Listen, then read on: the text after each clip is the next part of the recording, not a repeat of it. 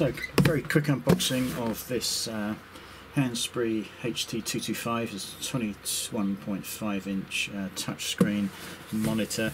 Uh, reason we're trying this is because uh, the current X-Plane setup that I've got, uh, we've got three monitors for the main display.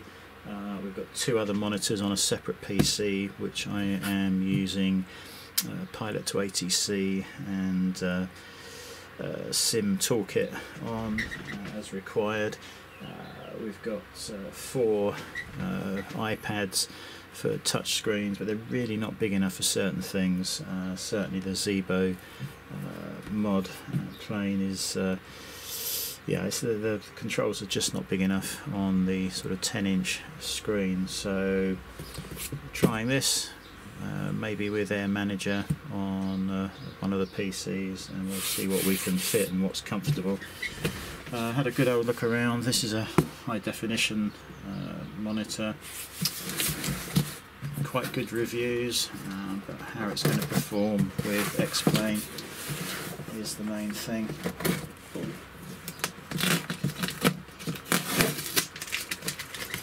Sticker off of that.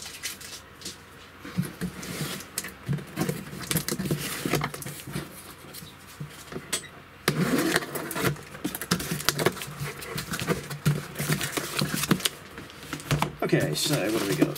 We have a HDMI cable, we have a USB cable, and uh, mains for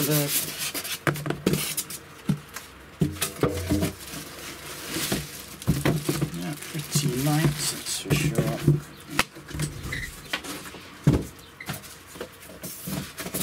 So I'm hoping this will sit under the main monitors like you know, in this sort of position and uh, I can just touch and control things from this.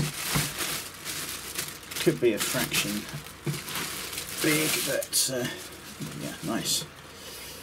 It's uh, got a stand on the back and I'm hoping that will allow it to go quite low which it does. Yeah, big problem there is it is super reflective as you can probably see. whether that's got a, no, I don't think it has got any sort of protective cover on it. And it's very nice, it is sort of edge to edge. Why can I see some marks on there? Has it got a covering on? I'm Not sure. So 21.5 viewable screen, 10 point touch. is that saying it will register 10 different touches? Now that's interesting. Hmm. Ultra wide viewing angle, not an issue. Uh, 7H toughened hard panel surface. Mm, still think it's plastic, it's not a glass panel. HDMI and VGA by the looks of it. Built in stereo speakers, uh, smart adjustable stand, and Windows 10 compatible. We've got uh, some control markings here but uh, no obvious buttons so I'm guessing that's touch control. Uh, everything is on the back so we've got display we've got display ports out uh, HDMI and VGA that is very nice indeed. Do you like that stand that feels metal, it's cold, so I think that's a metal stand, and that can go to there. So that is uh, very interesting. It's about the right uh, angle. Just don't like this reflection. That's um, it's like a mirror actually. Hopefully it won't be quite so bad when it's actually on. But uh, yeah, that is uh, possibly uh, an issue but it looks very well made. That is a metal piece at the front. Yeah, very nice.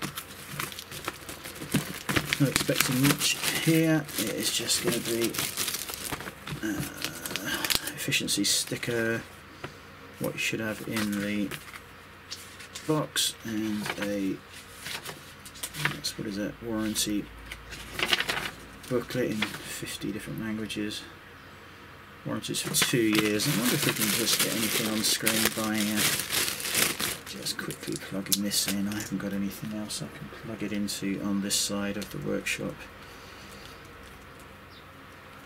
to get a display up.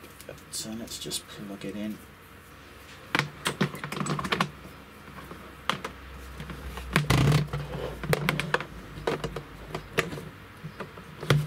There we go.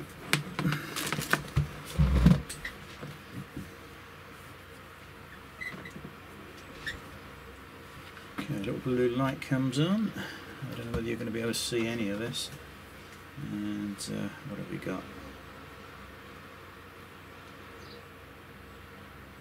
Okay, so can you adjust it by touch? No, that looks like it is purely only the Windows feature.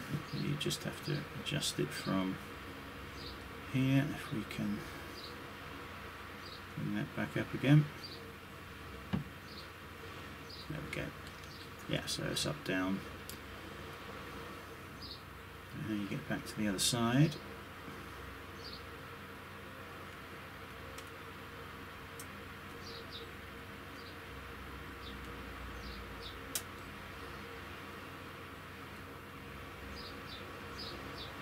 Oh, I see one is exit. Uh, nah, nah. Anyway, size, yeah, happy with that I think. Quality, good. And the fact that I can put it right down like this is uh, the main thing here because I can have multiple panels laid out here, um, autopilot, whatever else is uh, required, uh, all scalable uh, and in high definition so hopefully that's going to do the job and uh, once it's all set up we'll do another video but it looks uh, impressive so far.